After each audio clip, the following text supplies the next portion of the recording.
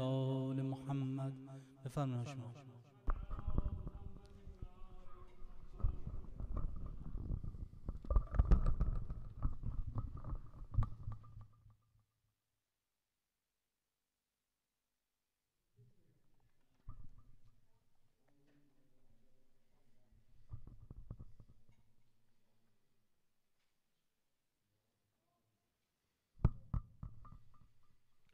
بسم الله الرحمن الرحیم. الحمد لله رب العالمین و صلی الله علی سیدنا محمد نبیه و آله و سلم تسلیما.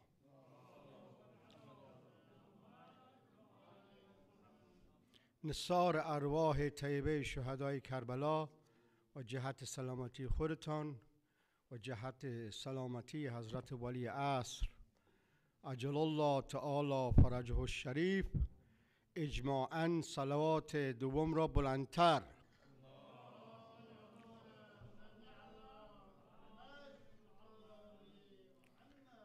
Welcome to the Imam Hussein Foundation YouTube channel, which is a global channel which reaches out across the world to mu'mineen. And in these nights, which are sacred nights. The holy month of Ramadan is the month of Allah subhanahu wa, uh, wa ta'ala. And inshallah, may Allah accept all your ibadat in this holy month. And for those who are sick, for those who are in difficulty, who are going through difficult economic times, we have a huge amount of poverty around the world. May Allah strengthen our Iman to reach out and help those who are in need. There is no greater ibadat than helping the needy. One of the ways that we can help ourselves is to help the needy one of the ways we can know Allah subhanahu wa ta'ala is by giving charity and by giving to those who are in need. The month of Ramadan is not only for those privileged, but it is also for the poor people. So, in the eyes of Allah subhanahu wa ta'ala, the rich and the poor are fasting. And this is something we should realize is a message from the Almighty that whether you're rich or you're poor, in the eyes of the Almighty, you are the same. You are equal in His eyes. And what makes you different is your piety, your taqwa, and your ikhlas in amal. And when you give charity, they say that the left hand should not know what the right hand is doing. Don't shout about it. Allah is the one who gives and He is the one who rewards. And for this reason, the Holy Prophet has been commanded to say, قل لا أسألكم عليه أجرا إلا المودة في القربى. O Prophet, tell the people, I seek no reward for my mission, for my risala, other than the muhibbat towards my family. And as lovers of Ahlul Bayt salam, we have to take this message very seriously. The love of Ahlul Bayt salam is, the, is in the heart of our madhab. If you go from this world, and I said last night, Man mata walam ya'rif imam zamanahi ma tamitatal jahiliya. And this is a tradition which is narrated within all schools of thought within the Islamic world. That the Prophet was told to say to the people, I seek no reward for my mission other than love for Ahlul Bayt salam. And we are in waiting, we are in intizar. We should be so grateful that we are in an era where we see troubles, turmoil, political upheaval, poverty, earthquake, all kinds of calamity. In those times, the Prophet says, Al-mu'min kal jabal rasiq. A mu'min must be immovable in his steadfastness, in his iman. And his place is where? In the mosque, in the masjid, in the house of God. And this is where we are. And as a reminder to myself that when you enter the mosque, especially in the month of Ramadan, your mizban, your host, is the Almighty. So whatever you seek in your heart, make your khalwat with the Almighty. Seek from Him what you want. Inshallah, بحق Hazrat Fatima Zahra, Salamun alayha, the Almighty in these nights especially will reward you with your hajat. Inshallah. So very, be very careful that these nights are very holy nights. Do not distract yourself. Remain steadfast in your du'as. the greatest jihad is the jihad of the nafs. And we as mu'mineen should know that the greatest jihad is that of fighting with your nafs. The greatest jihad is the jihad that you have inside, fighting against your nafs. Don't let your naps distract you. In these nights, we pray for the coming. May Allah hasten the reappearance of our awaited Imam. And may He grant shafa to all the sick, the ill, those who are in hospitals. And may He also give us more love. And may the nur and walaya of the love for Imam Ali alayhi salam and his family and the family of the Prophet, may peace be upon them, grow stronger and stronger as each day passes. As each day passes, we are getting closer to the rise of our beloved Imam Ajalallah Ta'ala Farajuh Sharif. With that now, with that said, I would now like to ask our most esteemed guest, Hajarat Dr. Ismail Misbahi, to recite Dua Iftitah with a loud salawat.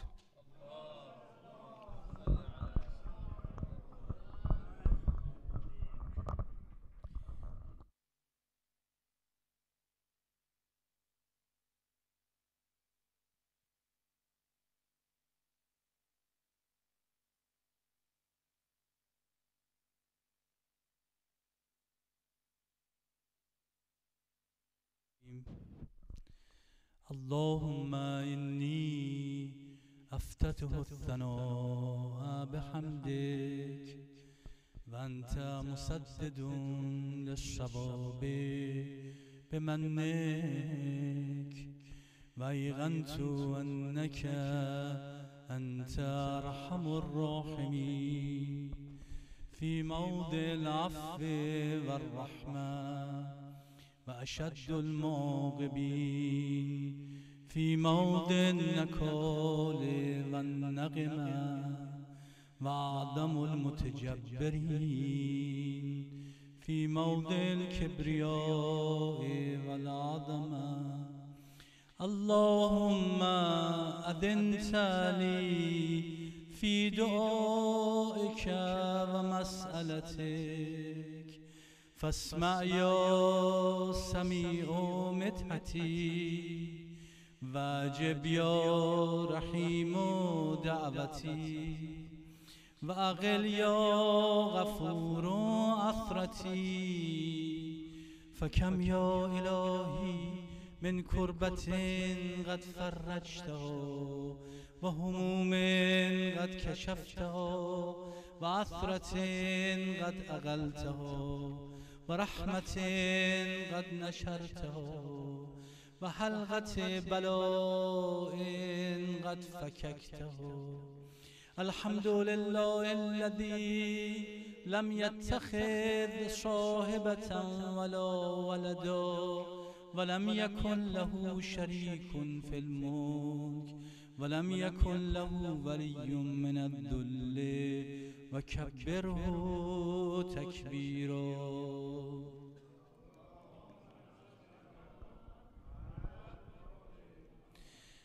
الحمد لله بجميع محامده كلها على جميع نعمه كلها الحمد لله الذي لا مضاد له في ملكه ولا منازع له في أمره.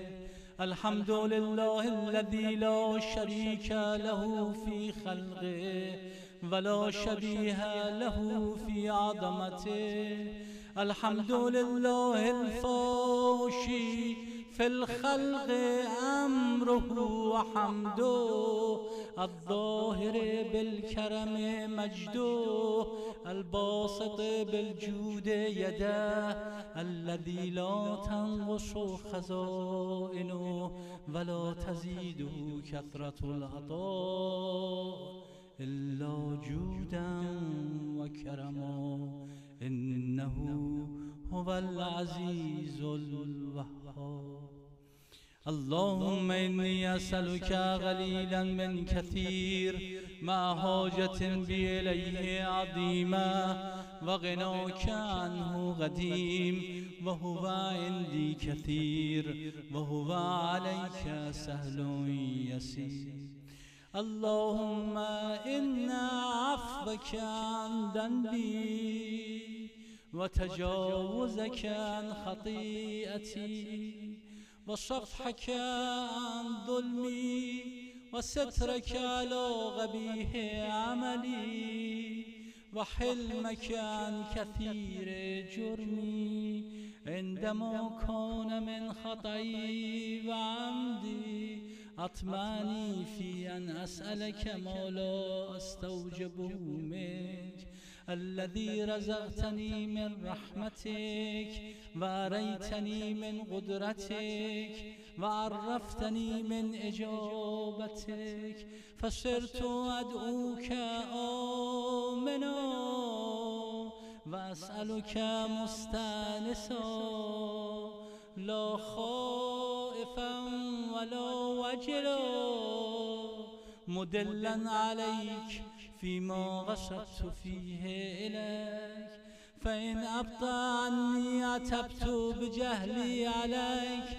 ولعل الذي أبطى عني هو خير لي لعلمك بعاقبة الأمور. فلم أر مولا كريما. أصبر على عبد لئيم منك علي يا رب إنك تدعوني فأبلي عنك وتتهبب إلي فأتبغض إليك وتتودد إلي فلا أقبل منك. كان لي التطول عليك. فلم يمنعك ذلك من الرحمة لي. والإحسان إلي والتفضل علي بجودك وكرمك. فرحم عبدك الجاهل فرحم فرحم عبدك جود مجد عليه بفضل إحسانك إنك جواد كريم. الحمد لله مالك الملك مجري الفلك مسخر الرياح فالغ الإصباح ديان الدين رب العالمين. الحمد لله على حلمه بعد علمه والحمد لله على عفوه بعد قدرته. والحمد لله على طول أناته في غضبه وهو قادر على ما يريد الحمد لله خالق الخلق باسط الرزق فالق الاشباه ذي الجلال والإكرام والفضل والإنعام الذي بعد فلا يرى وقرب فشهد النجوى تبارك وتعالى. الحمد لله الذي ليس له منازع يعدل ولا شبيه يشاكل ولا ظهير يعدد قهر بعزته الأعزاء وتواضع لعظمته العظماء فبلغ بقدرته ما يشاء الحمد لله الذي يجيبني حين أناديه ويستر علي كل عورة وأنا أعصيه ويعظم النعمة علي فلا أجازي فكم من موهبة هنيئة قد أعطاني وعظيمة مخوفة قد كفاني وبهجة مونغة قد أراني فأثني عليه حامدا. واذكره مسبحا الحمد لله الذي لا يهتك حجابه ولا يغلق بابه ولا يرد سائل ولا يخيب آمل الحمد لله الذي يؤمن الخائفين وينجي الصالحين ويرفع المستضعفين ويدع المستكبرين ويهلك ملوكا ويستخلف آخرين والحمد لله قاسم الجبارين مبير الظالمين مدرك الهاربين نكال الظالمين صريخ المستصرخين موضع حاجات الطالبين معتمد المؤمنين الحمد لله الذي من من خشيته ترهد السماء وسكانه وترجف الأرض وعماره وتموج البحار ومن يسبه في غمراته. الحمد لله الذي هدانا لهذا وما كنا لنهتدي لولا أن هدانا الله. الحمد لله الذي يخلق ولم يخلق ويرزق ولا يرزق ويطعم ولا يطعم ويميت الأحياء ويحيي الموتى وهو حي لا يموت بيده الخير وهو على كل شيء قدير. اللهم صل على محمد.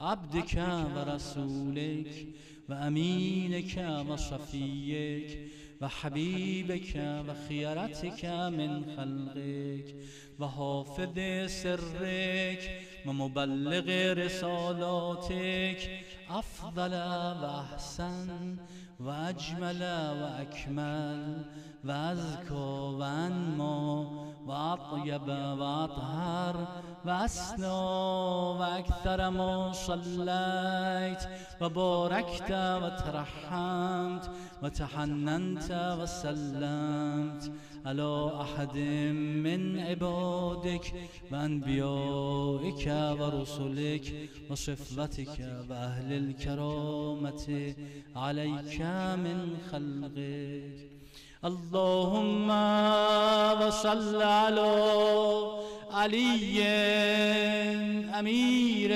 المؤمنين ووصي رسول رب العالمين.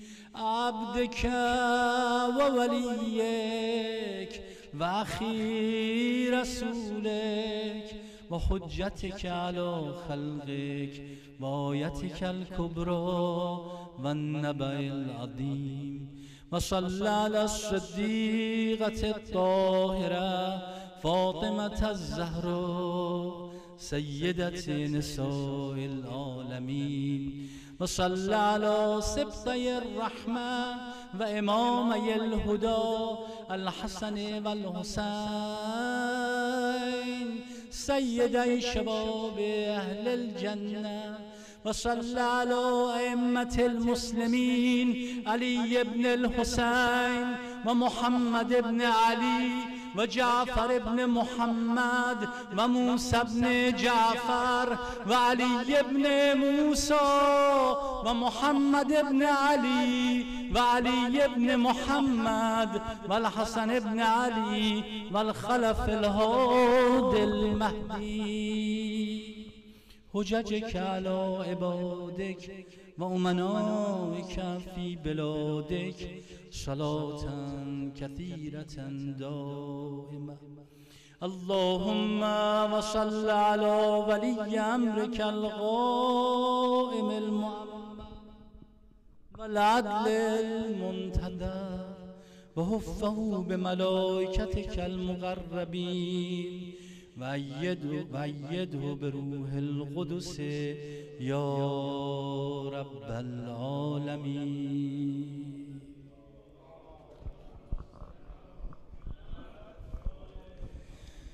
اللهم اجعله الداعي إلى كتابك والقائم بدينك. استخلفه في الأرض كما استخلفت الذين من قبله. مكن له دينه الذي ارتديته له. أبدله من بعد خوفه أمنا يعبدك لا يشرك بك شيئا اللهم أعزه وأعزز به. وانصره وانتصر به. وانصره نصرا عزيزا. وافتح له فتحا يسيرا. واجعل له من لدنك سلطانا نصيرا. اللهم اظهر به دينك وسنة نبيك حتى لا يستخفي بشيء من الحق مخافة أحد من الخلق اللهم إنا نرغب إليك في دولة كريمة تعز بها الإسلام وأهله وتذل بها النفاق وأهله وتجعلنا فيها من الدعاة إلى طاعتك والغادة إلى سبيلك وترزقنا بها كرامة الدنيا والآخرة اللهم ما عرفتنا من الحق فعملنا وما غصرنا عنه وبلغنا.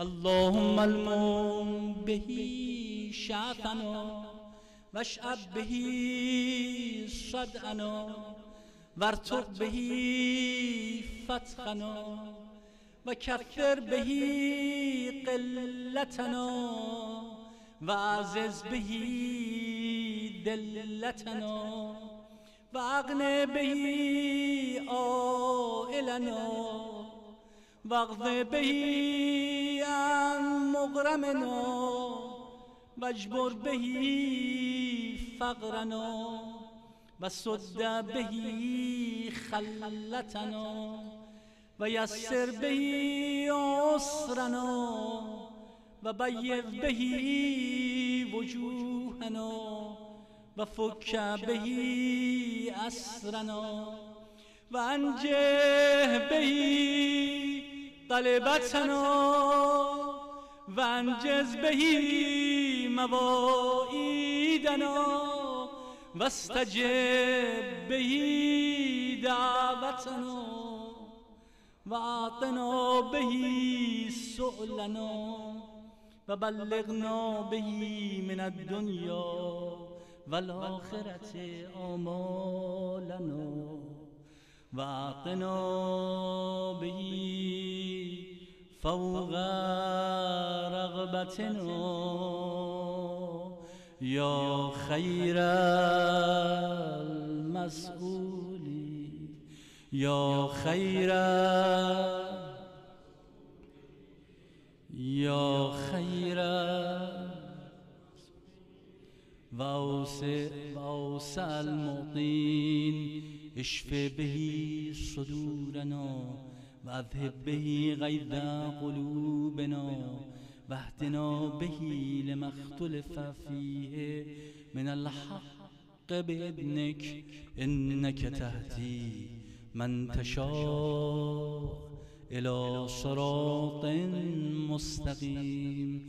وانصرنا به على عدوك وعدونا. إله الحق. آمين. اللهم إنا نشكو إليك فقد نبينا. صلواتك عليه وغيبة ولينا وكثرة عدونا وقلة عددنا وشدة الفتن بنا وتظاهر الزمان علينا.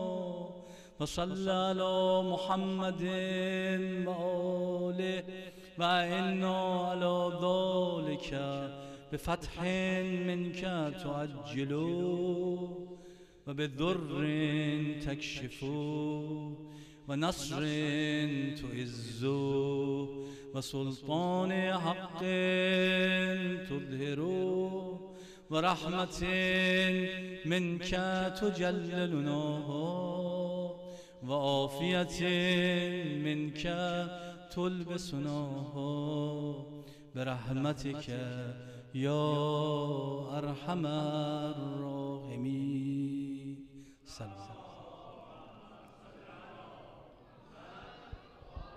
برای شادی روح گذشتگان خودتون گذشتگان این جمع مرحوم آقای نوروزاده و مرحوم پدر و مادر من قرائت بفرمایید سوره فاتحه همراه با سلام.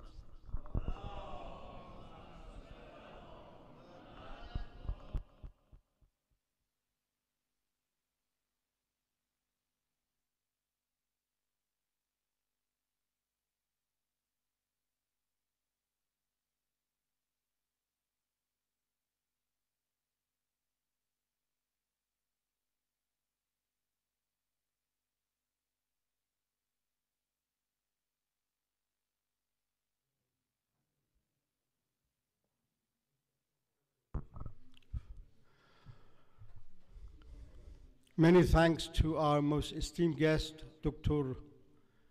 Ismail Misbahi, for that eloquent recitation of Dua Iftitah. And now we would like to welcome another esteemed guest, Sayyid Amar Naqabi, who is a very learned scholar and inshallah will give us, give us the pleasure of his lecture with a loud salawat.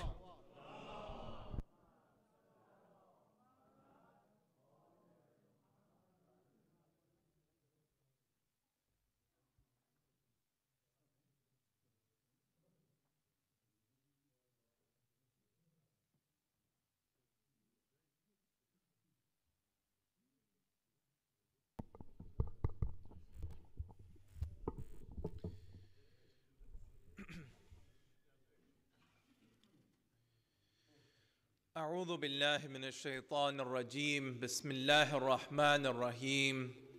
الحمد لله رب العالمين بارئ الخلائق الأجمعين باعث الأنبياء والمرسلين ثم الصلاة والسلام على سيدنا حبيبنا حبيب قلوبنا وشفيع نفوسنا. أبي القاسم محمد اللهم صل على محمد وآل محمد وعلى أهل بيته الطيبين الطاهرين. الحمد لله الذي هدانا لهذا وما كنا لنهتدي لولا أن هدانا الله. أما بعد فقد قال الله في كتابه المبين. أعوذ بالله من الشيطان الرجيم. بسم الله الرحمن الرحيم. لا إكراه في الدين. قد تبين الرشد من الغي Brothers and sisters, may we begin with the salawat ala Muhammad wa ali Muhammad. Allahumma salli ala Muhammad wa ali Muhammad.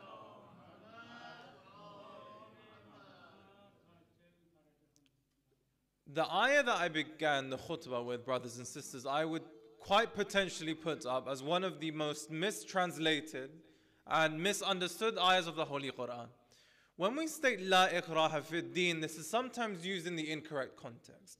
When I say that there's no, uh, we can say compulsion in religion, this is oftentimes used as a tool for people who want to do something in the name of Islam when it has nothing to do with the religion whatsoever. We don't need to do this, there is no compulsion in religion. We don't need to do that, there is no compulsion in religion. We don't need to pray, and there's no compulsion in religion. We don't need to wear the hijab, la ikraha fi din. So we need to now answer the question if this is an ayah of the Quran, which it is, how are we supposed to interpret it? Because it's a question, is it not? The Quran itself is saying La ikraha fi din. The Quran itself is saying that there is no compulsion in religion. And then on the other hand, we're saying that you have to pray salah, you have to fast, you have to wear hijab, you have to do these things. So, how do these two points liaise? How do these two points make sense? And inshallah, by- the end of our discussion, we'll come to understand what the actual meaning and the tafsir of this ayah of the Quran is, and how it links up with our worldview of being someone looking at the world through a Tawheedi world lens. Now, first, I think we should interpret what the definition of deen is. La iqraha fi deen. Yes? So, first and foremost, what does deen mean? We sometimes have a very limited perspective and angle of what deen actually means. However, if we come to understand the actual definition of deen, the matter will become a lot clearer. Masalan, in the Quran, I ask you, brothers and sisters, has deen ever been brought in the plural form? Ever? The word deen, has it ever been brought in the plural form? Absolutely not. So, what does that tell us?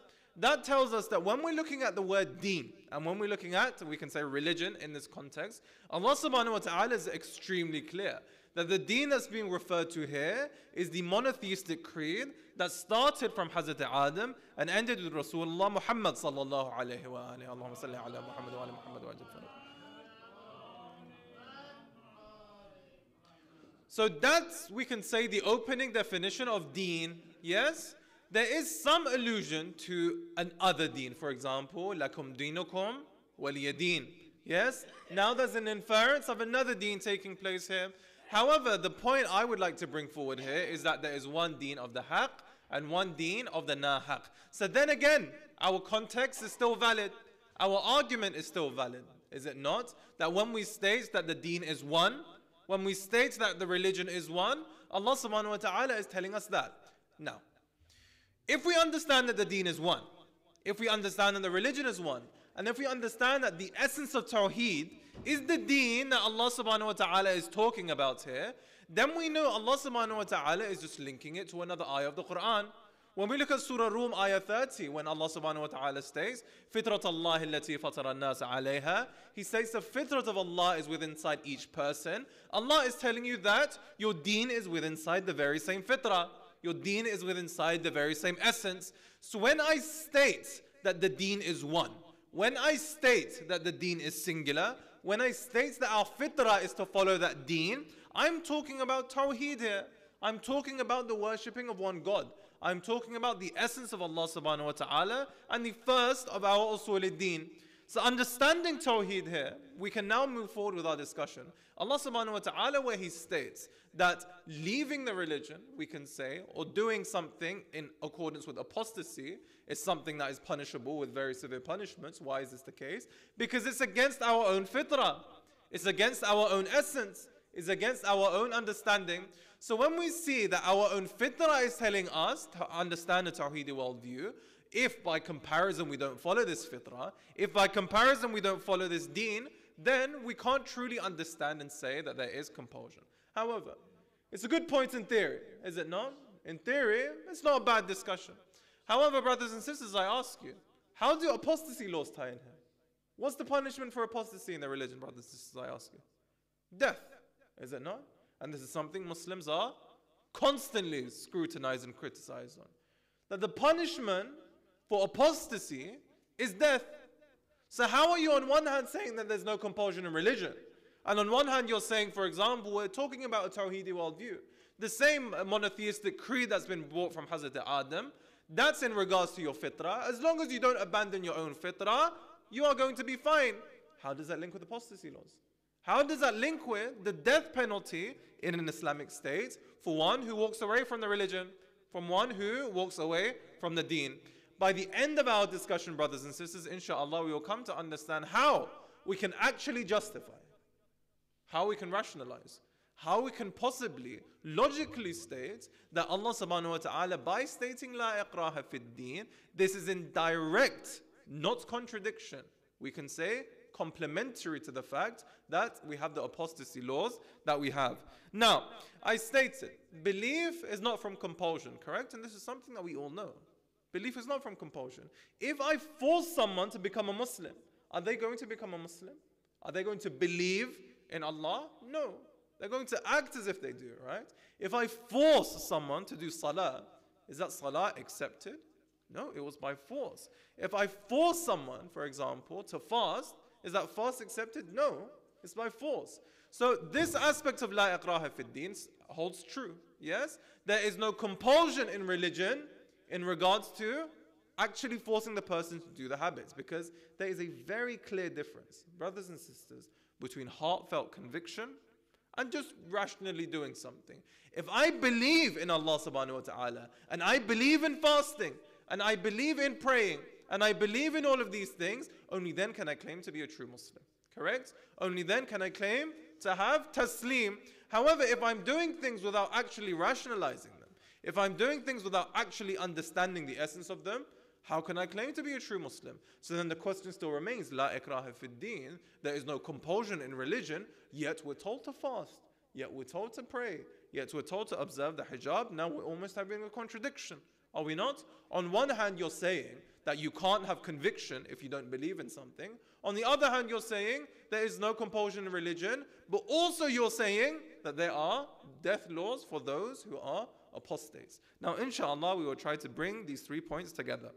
So, we only use compulsion when, brothers and sisters? When's the only point we use compulsion?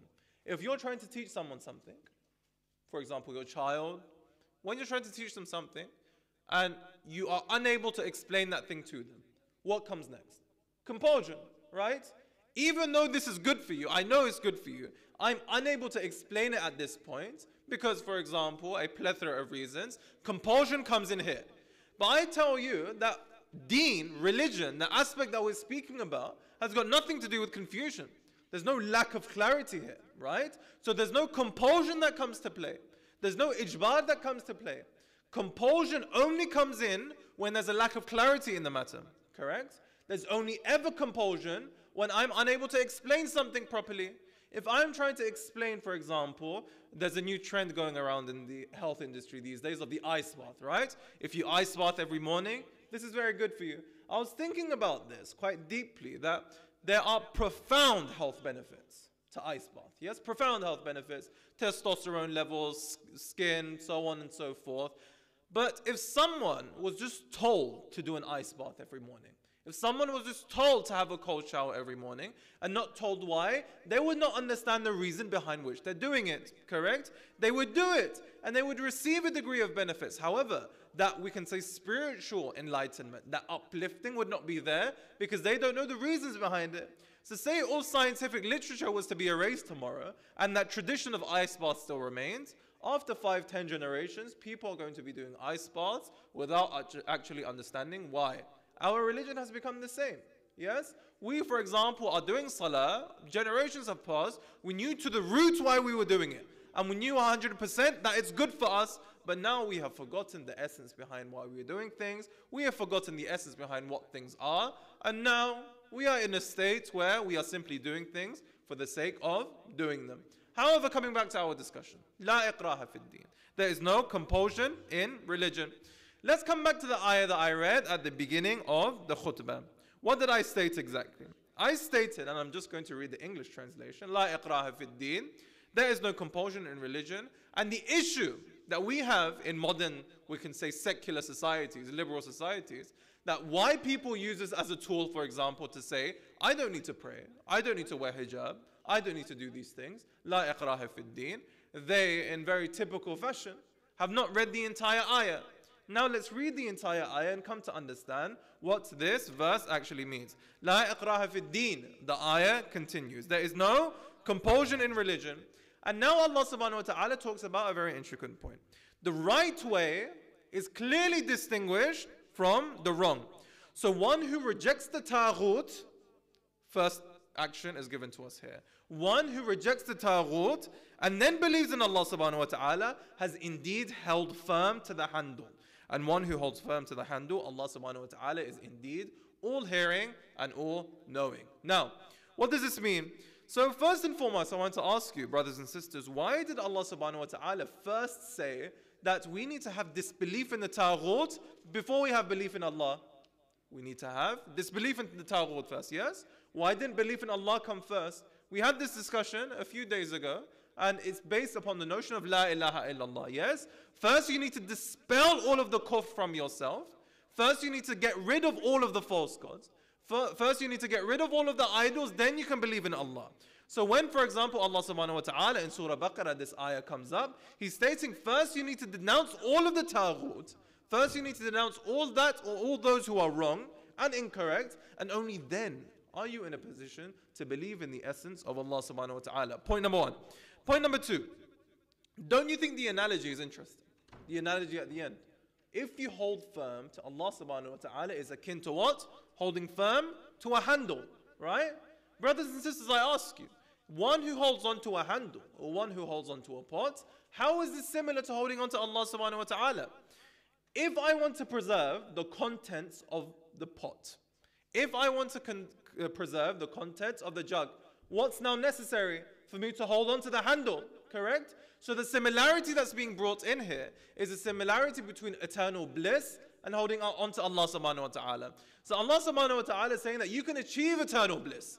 You can achieve that substance within the pot. However, what do you need to do? You need to hold firm to the handle. What do you need to do? You need to hold firm to Allah subhanahu wa ta'ala. That point has been mentioned. And now we can come to a conclusion in regards to how why do apostasy laws exist and how can they possibly liaise with the fact that there is no compulsion in religion. So, let's go through this step by step. We have a few minutes left, however, I believe we can come to a conclusion in the matter. So, we did the tafsir of the ayah where you need to hold on to Allah subhanahu wa ta'ala only when you've held on to Allah subhanahu wa ta'ala can you actually have any chance for eternal bliss. Correct? So again, these are very good theoretical arguments, but at the end of the day, we have apostasy laws. And these apostasy laws are very clear that a person needs to be sentenced to death once they leave their religion. How is this a fair religion, brothers and sisters? How is this a religion of justice? You're talking about Allah's Rahman Rahim 114 times in the Quran, but you're killing people as soon as they leave the religion? How is this making sense? And how is this making sense? It is a good question, is it not? Inshallah, this is where we will conclude. So, first and foremost, let's look at that question. Was Islam spread by the sword or was Islam spread by conversion? And this links with La iqraha fid din, yes? The most we can say, the biggest aggressors against the religion of Islam, they state that Islam was spread by the sword. Islam was spread by aggression.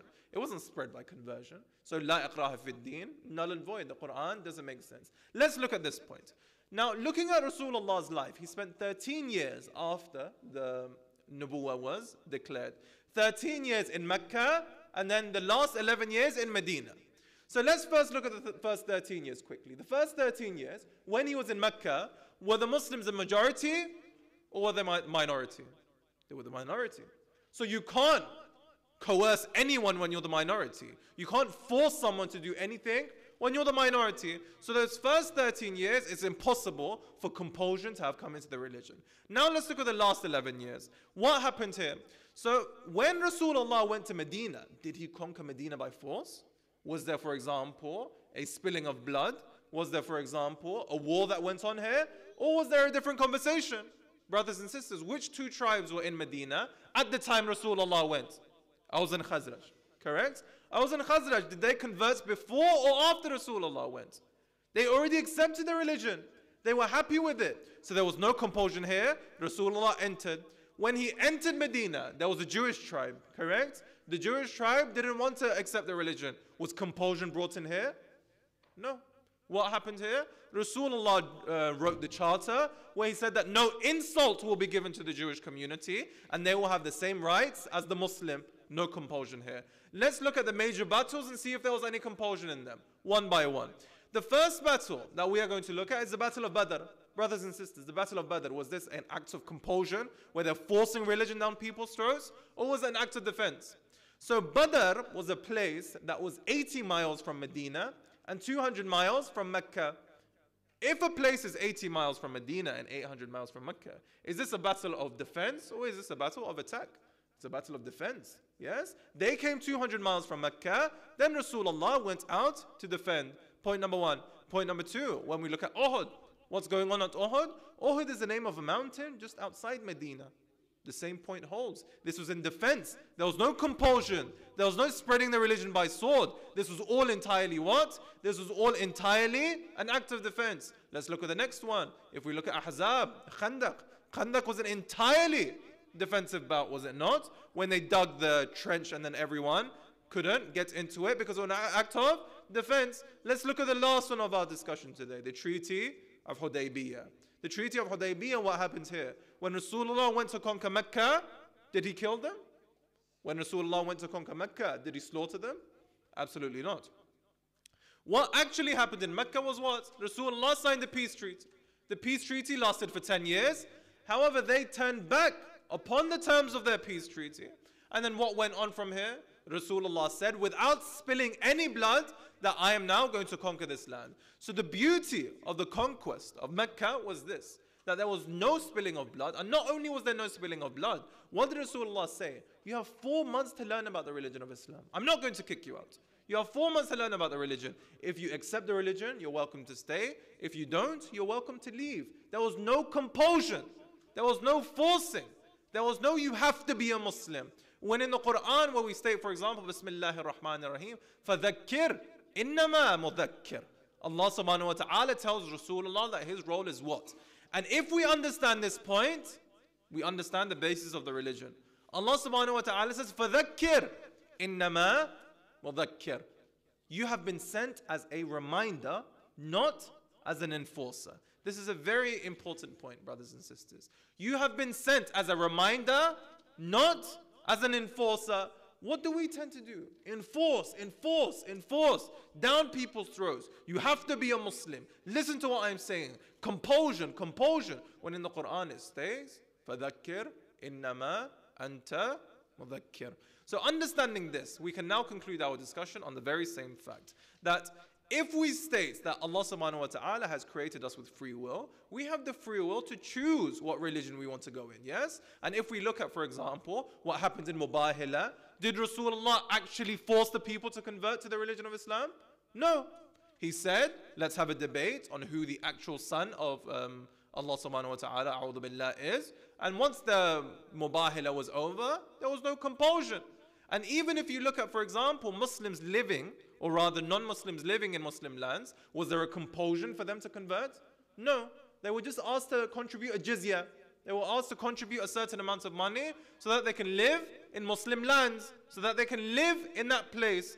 And they were exempt from khums and they were exempt from zakat because they were not Muslims. So our discussion is now coming to a close, is it not? When it comes to compulsion, there's no place for it whatsoever. When it comes to forcing someone to do something, there is no place for it whatsoever. So when we understand that notion, brothers and sisters, we come back to our opening argument. What about apostasy laws? What about apostasy laws? Right? How can you justify all of this beauty? How can you justify Rasulullah in all of his glory, defending everything he did, not forcing anyone to convert, allowing everyone to live freely, with apostasy laws? In this notion. Our biggest mistake is what, brothers and sisters? We think our life is limited from our birth to our death. Correct? But if we understand the actual depth of the religion of Islam, and if we actually remind ourselves, because we know what the purpose of religion is, brothers and sisters, apostasy laws are not deemed to be, we can say, something that's looked down upon. So, there are two types of apostasy laws one for the murtad milli, one for the murtad fitri. Yes? So, someone who was born a Muslim, if they leave the religion, what does the Sharia say? They are to be killed. Yes? If someone was born a Muslim and they now leave the religion, they are to be killed even if they repent. Yes? Someone who was a murtad milli, so someone who converted to the religion, if they leave the religion, they are exempt, they are not killed as long as they repent. So what's this telling us now? Allah subhanahu wa ta'ala, out of His rahmah, and if we understand this point, the whole concept of divine justice will be extremely clear here. Extremely. How can we justify an individual being sentenced to death for leaving the religion? Because our ignorance is this we think death is the final straw. We think death is the worst punishment to man. But I ask you, brothers and sisters, is there not a life that's going to come in afterwards? Is there not a life that's going to happen after death? There was a story about a gentleman, and he said that there was a flood, I believe, in Oxfordshire. There was a flood in Oxfordshire, and a boy's leg got caught. Yes? A boy's leg got caught in the flood. So the parents, in trying to get the boy out, they tried so hard to get the leg out. The water was getting higher, the water was getting higher, was getting higher. And instead of them, for example, getting the boy out, they all drowned in the flood itself. So the person who was narrating the story, he stated that this would have never happened to me. And the person, the interviewer said, How so? He said, As soon as this would have happened to me, I would have said, Cut my leg off. Because once you cut the leg off, there's still a chance for survival. Yes? If you cut the leg off, there's still a chance for salvation. How does this link to our story in apostasy? Brothers and sisters, I ask you, we believe in a life after death, do we not? We believe in a life after we pass away, do we not? Allah subhanahu wa ta'ala in His rahmah, He's saying if you are born a Muslim, and you have Tawheed within inside you, and you have now left it, maybe I, your life ending now, there is a higher chance of you attaining salvation than for you to live another 60, 70 years and cause fasad for yourself and other people, where you have a worse time in the akhirah and they have a worse time in the akhirah as well. Even the apostasy them, laws themselves are out of the rahmah of Allah subhanahu wa ta'ala. Even the apostasy laws themselves are an act of salvation for us that maybe we have the opportunity to gain salvation. Maybe we have the opportunity to become better. So, understanding this, an individual, for example, say they've been sentenced to death. They left their religion today, they've been sentenced to death.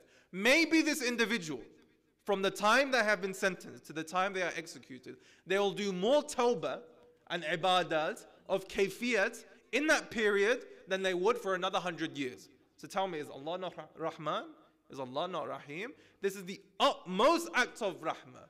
This is the utmost act of mercy.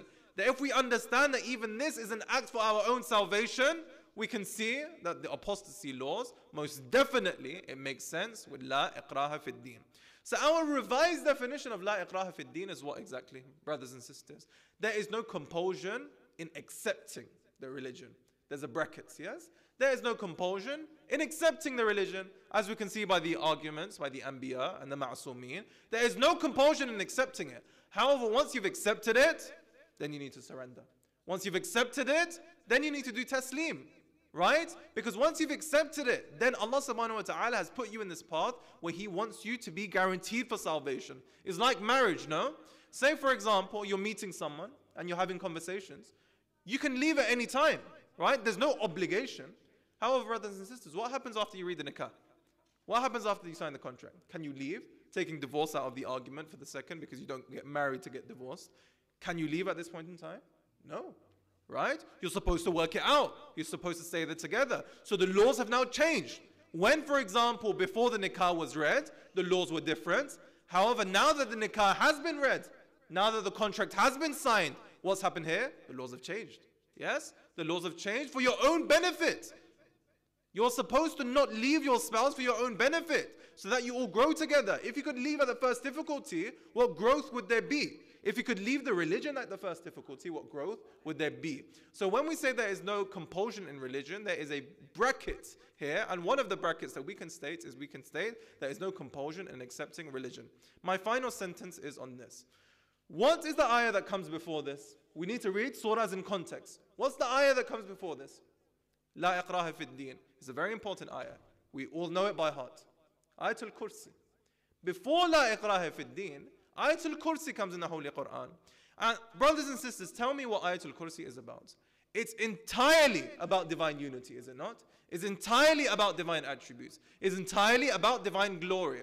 So Allah subhanahu wa ta'ala has introduced himself in Ayatul Kursi, which is one of the most powerful ayahs of the Quran, and says if you understand divine unity, if you understand divine attributes, if you understand divine mercy, if you understand Ayatul Kursi, there is no need for compulsion in religion. There is no need for forcing anyone to do anything. Because if you understand Tawheed, La iqraha fi din, there is no compulsion in religion because the matter has become extremely clear. Brothers and sisters, may Allah subhanahu wa ta'ala grant us the tawfiq to understand clarity and knowledge for the sake of Allah subhanahu wa ta'ala. May Allah subhanahu wa ta'ala grant us tawfiq not to act in compulsion but rather to act in free will. May Allah subhanahu wa ta'ala grant us tawfiq to succeed in jihadun akbar. Wa akhir da'wana walhamdulillahi rabbil alameen. Salawat ala Muhammad wa alihi al-tahirin.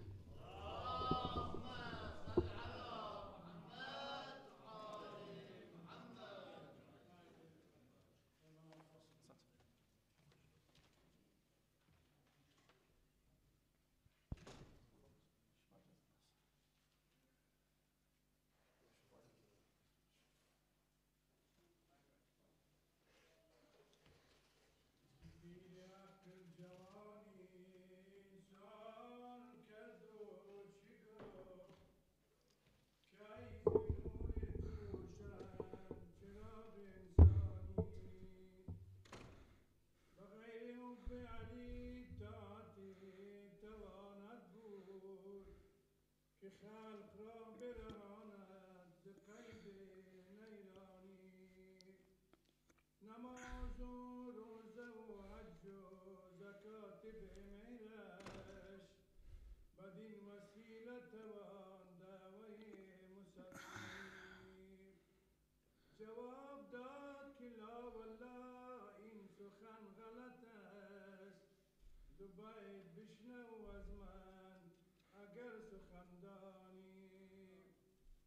حق قادری بیچون خدای سبحانی. به حق جمله کرون بیان و روحانی. که دشمنان علی را نماز نیست درست اگر سینه اشتر کنند پیشانی.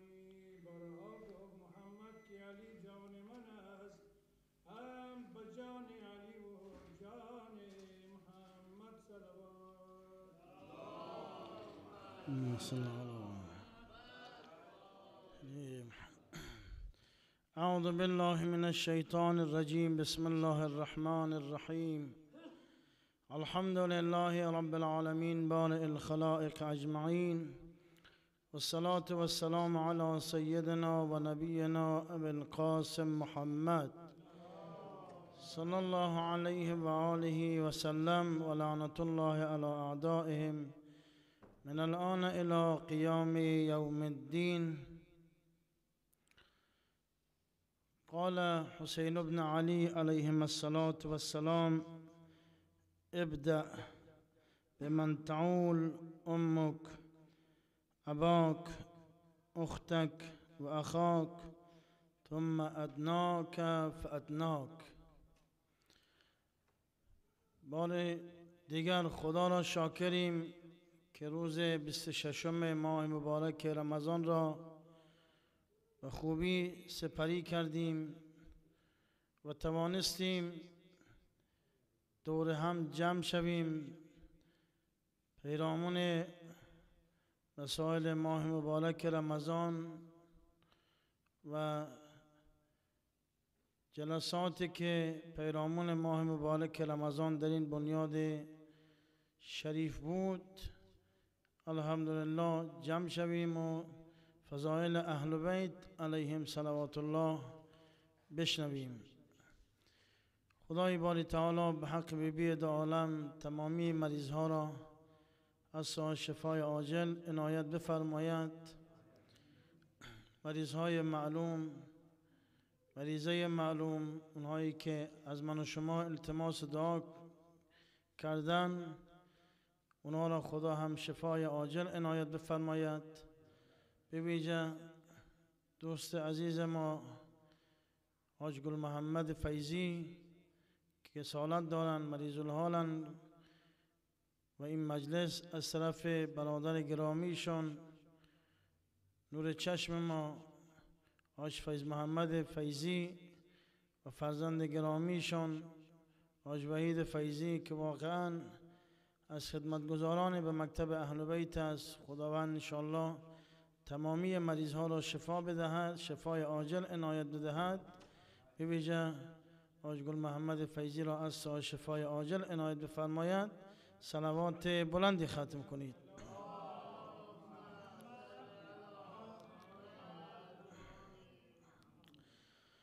محضر شما برادران و خواهران عرض کنم که سیره مکتب اهل بیت علیهم صلوات الله و همچنین سیره اسلام این است که احترام اشخاص و افراد باید حفظ شود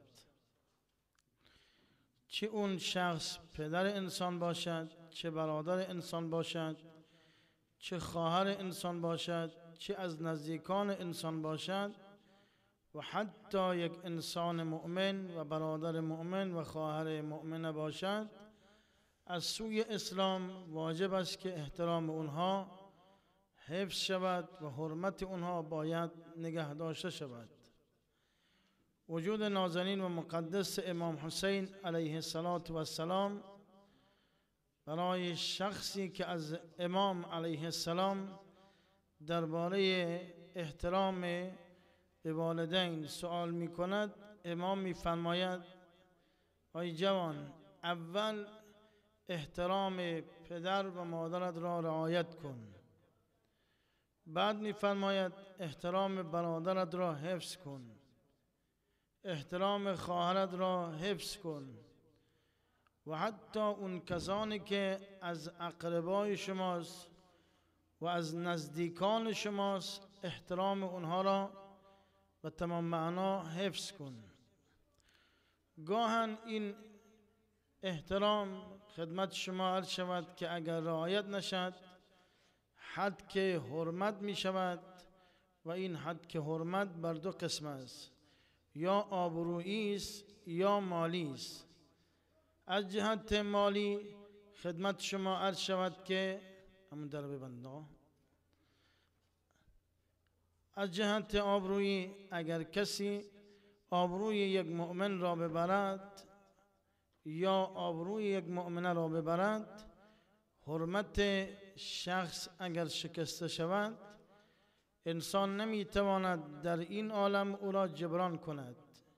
شخصیت مثل پیغمبر خدا آمد کنار مسجد الحرام کنار کعبه استاده شد فرمود ای کعبه اونقدر تو حرمت داری که از سر تا سر عالم مردم می آیند دور تو تواف می کنند.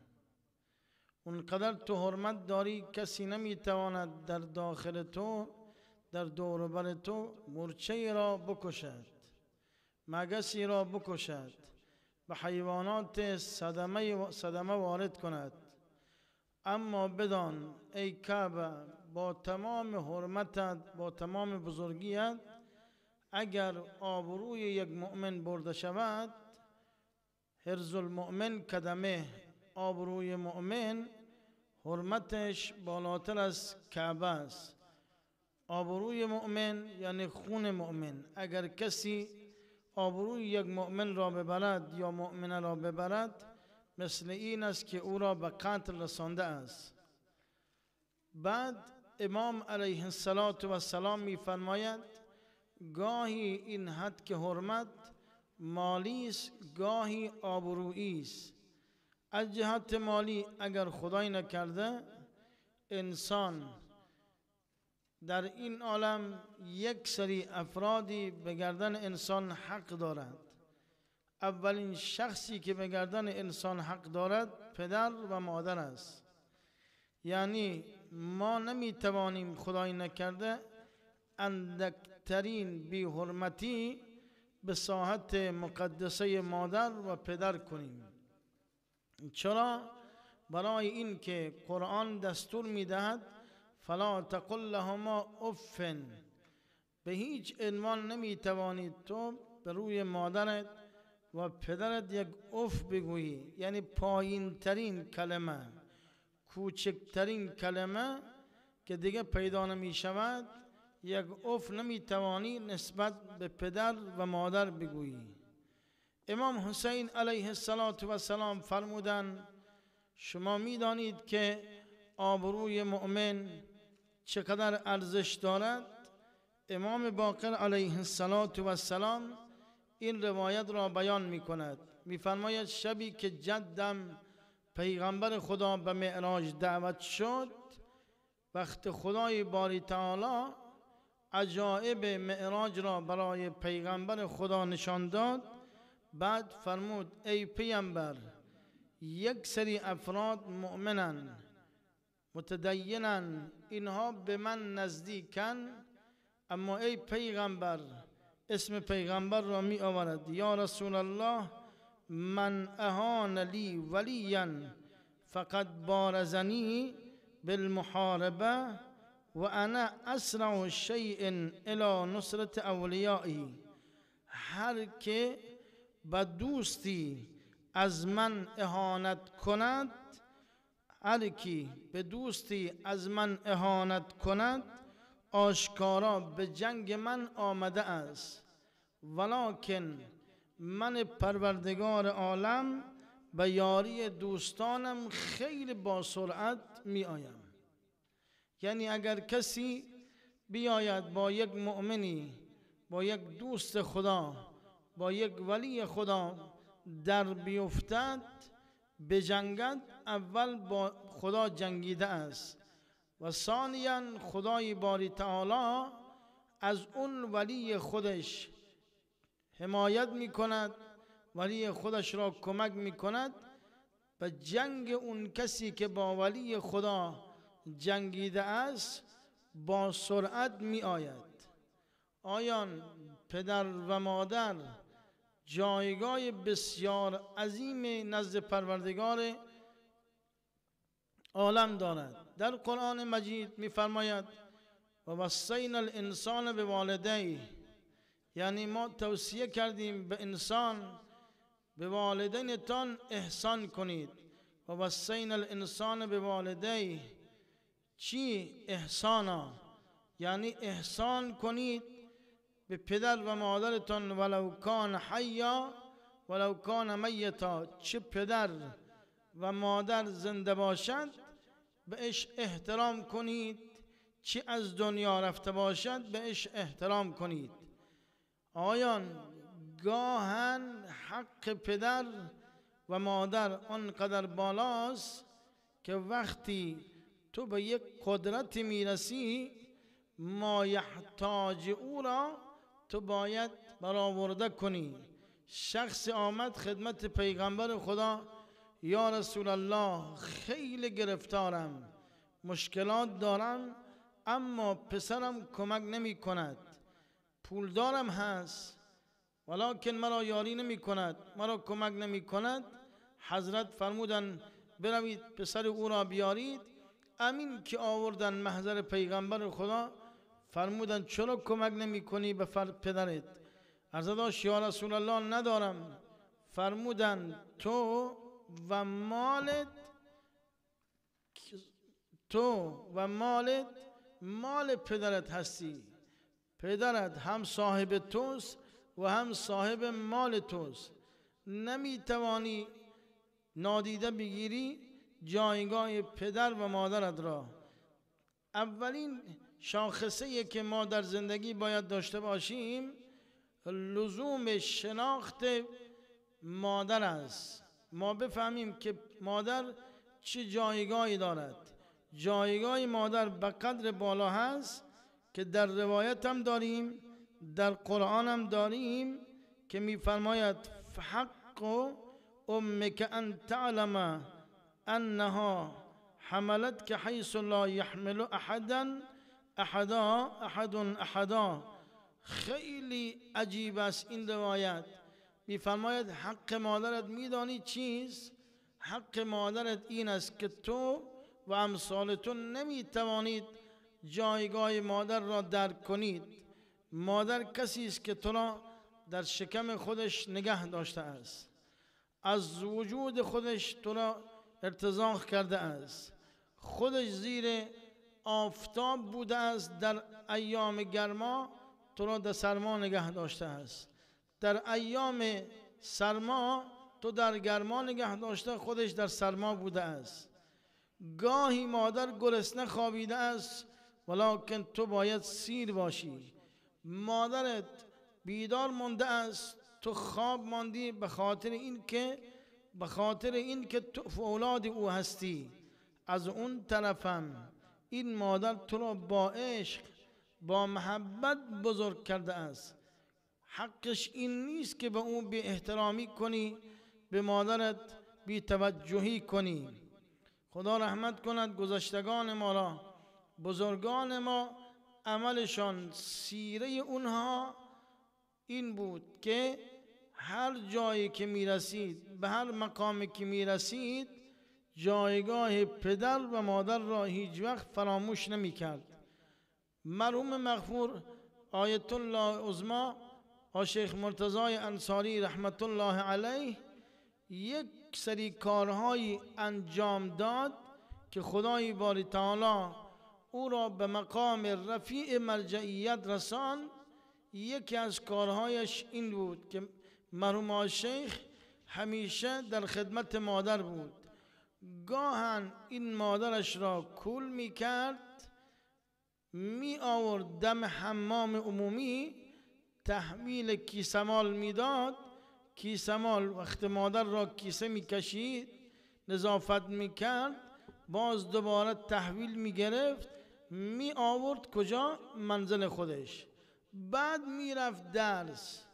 اما وقتی که مادرش از دنیا رفت چقدر زیباست. جوان ها اونایی که می‌بینن این برنامه را وقت می‌رفت به سوی درس می‌رفت دست مادرش را میبوسید اجازه می‌گرفت وقت می آمد باز دست مادر را میبوسید اجازه می‌گرفت که بنشینم. اگر مادر اجازه می‌داد می نشست اگر نمی‌داد نمی نشست اما این کار باعث شد که مرحوم شیخ به اون مقامات معنوی برسد. زمانی هم که از دنیا رفت زار زار گریه می‌کرد. چرا گریه می‌کنید؟ شما فقیه هستید شما بزرگ هستید. چرا گریه می‌کنید؟ فرمودن دیگه آشیخ مرتضا دعاگو ندارد. دیگه آشیخ مرتضا دست کی را ببوسد. به کی تکیه کند؟ مادرم یک تکیهگاه بزرگ و عظیمی بود برای من. هر زمانی که می‌رفتم به سوی درس می‌رفتم دست با برکت مادرم را میبوسیدم. یک نیرو و یک انرژی و یک حس خوب پیدا می‌کردم. می‌رفتم به سوی درس. وقت می آمدم همینطور این نیرو را خدا برای من داد. از کجا به این مقام می‌رسد؟ از جایی که احترام پدر و مادر رعایت شود. این طور نیست که ما فکر می‌کنیم حساب دو تا چهارتاست دو, دو تا چهارتا بوده و هست. هیچ وقت پنجتا نشده. احترام مادر باید سر جای خودش باشد. اما حق پدر آیان در حق پدر وقتی می‌رسیم یک نگاه به زندگی خود ما بکنیم هر چه داریم ما از پدر است. پدر اصل است. ما فرع هستیم. هر چه نعمت خدا برای من و شما عنایت کرده است از وجود پدر و مادر عنایت کرده است. اگر جوانی داری مال پدر است. اگر هوشیاری داری مال پدر و مادر است. اگر سرمایه داری مال پدر و مادر است. اگر قدرت داری توانایی داری توانمندی داری بازم مال پدر و مادر است. هیچ وقت این را به خود راه ندیم این مسئله را که بگوییم نه ما خود ما زحمت کشیدیم ما خود ما هر کاری کردیم خود ما درآمد داشتیم. نه اون کسی که تو را بزرگ کرده است کیست؟ اون کسی که تو را خلق کرده خداست. فائل اصلی خداست. اما وسیله کی بوده؟ پدر و مادر. تو به دنیا آمدی بزرگ شدی از نعمتهای خدا استفاده می‌کنی. تمام این نعمتها مال خداست اما وسیله اش پدر و مادر بوده است. آقا جان اگر کسی می‌خواهد در این دنیا به مقامات معنوی برسد دعای پدر و مادر. شناخت پدر و مادر. انشکرلی و لوالدی. بعد در قرآن میفرماید ولئن شکرتم لازیدنکم ولئن کفرتم ان عذابی لشدید. اگر احترام پدر و مادر را رعایت کردی شکر نعمت کردی خدا برایت نعمتت را افزون می کند نعمتت را زیاد می کند اگر بی احترامی کردی به ساحت مقدس مادر مقدسه مادر و مقدس پدر بیچاره میشی. خیلی کسانی بوده است که در این دنیا احترام پدر را داشته احترام مادر را داشته به مقامات معنوی رسیده است. مرحوم مغفور آیت الله ازمای مرعشی رحمت الله علیه میفرماید در نجف اشرف بودم. مادر دستور داد که وقت نهار است برو فلانی پدرت را صدا کن. آمدم بالا طبقه دوم. دیدم که پدرم از شدت خستگی مطالعه خواب رفته است. خب چگونه او را بیدار کنم؟ خواب رفته آمدم صورتم را به کف پای پدر گذاشتم آهسته مالیدم دیدم که پدرم از خواب بیدار شد. فرمودن شهاب بدین شمایی عرضه داشتم پدر جان دستور دستور مادر بود.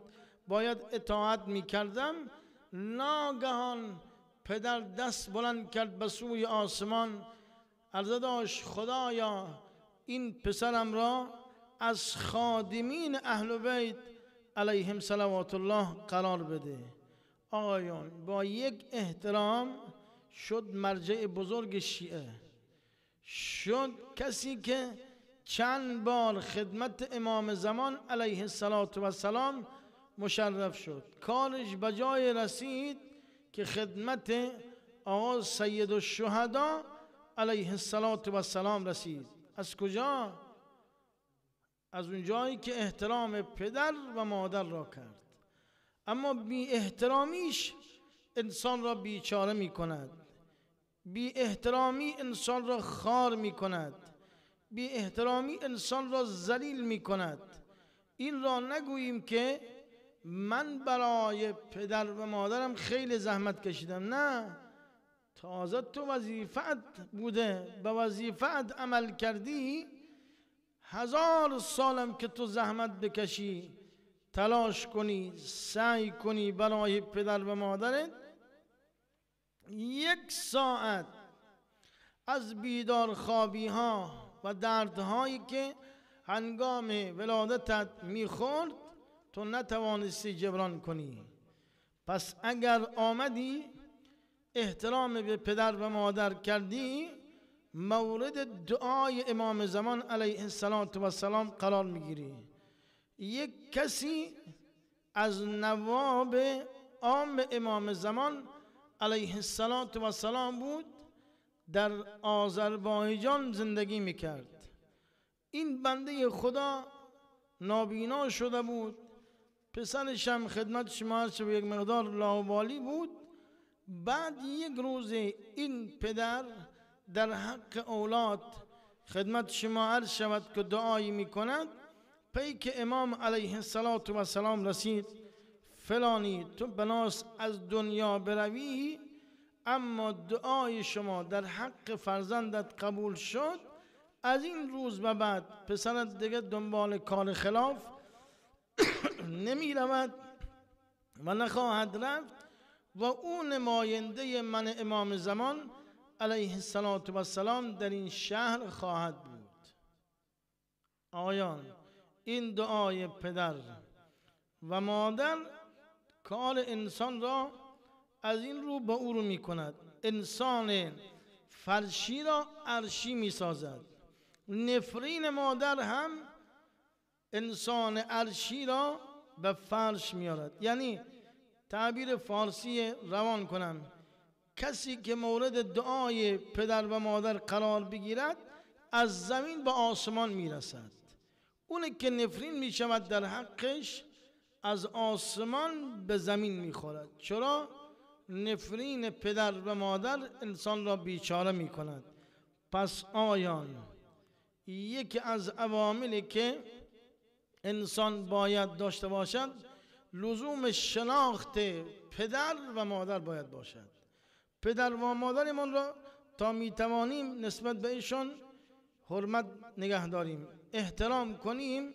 احترام پدر و مادر طبق آیه قرآن طبق حدیث نبوی احترام پدر و مادر واجب است. شخص آمد خدمت امام باقر علیه السلام یبن رسول الله مادرم مسیحی است. امام یک نگاهی کرد فرمودن گوشت خوب می‌خورند. گفت نه. شراب می‌خورد؟ نه. فرمودن احترامش بر تو واجب است. هر کاری که می‌توانی براش انجام بده امین که این شخص برگشت در کوفه تا توانست احترام مادر را انجام داد.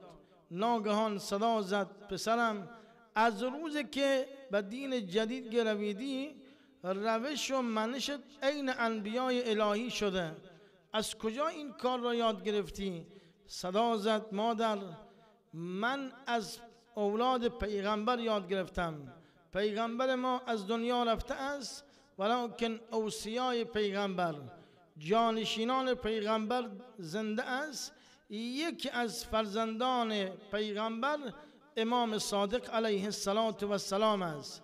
یکی از فرزندان پیغمبر خدا امام باقر است برای من نصیحتی کرده است که حرمت تو را نگه دارم. صدا پسرم یک تقاضا دارم. تقاضا چیه؟ صدا زد مرا به اون دین دعوت کن. شهادتین را بر من جاری کن.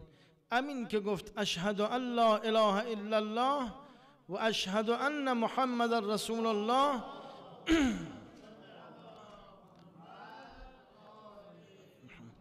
فردای اون روز این خانم از دنیا رفت. آقا جان یک برخورد مثبت. کارش به جایی می‌رسد که این بنده خدا مسلمان می شود 24 ساعت هم زنده نمیماند و مسلمان از دنیا می رود چرا؟ چون برخورد برخورد درسته بود. روش روش درسته بود. مسیر درست را انتخاب کرده بود. مربی خوب داشت مرشد خوب داشت معلم خوب داشت. اون باعث شد که این فرد باید مسلمان از دنیا برود. پروردگارا به حق بیبی دو عالم ما را نسبت به پدر و مادر و جایگاه پدر و مادر و لزوم شناخت پدر و مادر بیشتر ما را آشنا بگردان. خدایا والدین ما را در پناه اسمت امام زمان حفظ بفرما. خدایا ولی نعمت ما را از ما راضی بفرما. خدایا روح مقدسه حضرت زهرا سلام الله علیها را از ما شاد و خرم بفرما. خدایا مریض ها را از سای شفای عاجل عنایت بفرما. مریض معلوم از سای شفای عاجل عنایت بفرما. خدایا تمامی مریض ها را از سای شفای عاجل عنایت بفرما. خدایا روح مقدسه حضرت زهرا سلام الله علیها. از همه ما شاد و خرم بفرما. خدایا این مجلسی که برادر عزیزم حاج وحید فیضی گرفته است خدایا از خودش و خانوادهش و تمام دوستان و عزیزانی که در این شبها مجلس گرفتن کمک کردند حضورشان با حضورشان مجلس را منور کردند کمک مالی کردند خدایا خودشون و خانوادهشان را از جمیع بلاها حفظ بفرما. فراشان خادمین امام حسین علیهم صلوات الله را از جمیع بلاها حفظ بفرما خواهران ما که فراشی کردند برادران ما فراشی کردند در این شرایط خدایا خودشان و خانوادهشان را از جمیع بلاها حفظ بفرما. اللهم افتح لنا بالخير واختم لنا بالخير وجل عواقب امورنا خيرا بر محمد و آل بیت محمد صلوات. اللهم صل على محمد و آل محمد. و جهت شفای تمامی مریض ها خصوصا جناب محمد آجگل محمد فیضی همه ما یک حمد شفا همه با هم قرائت کنیم. بسم الله الرحمن الرحیم. الحمد لله رب العالمین الرحمن الرحیم. مالک یوم الدین اياک نعبد